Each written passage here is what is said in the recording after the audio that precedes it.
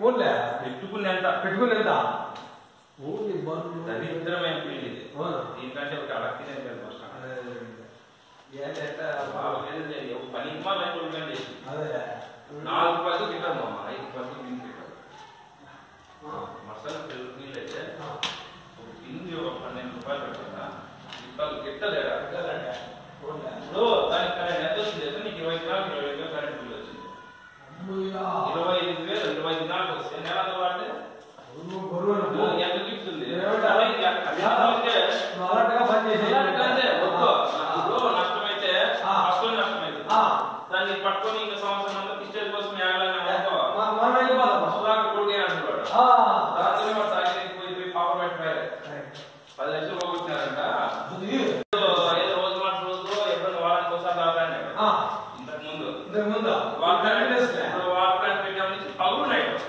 ठीक रहेगा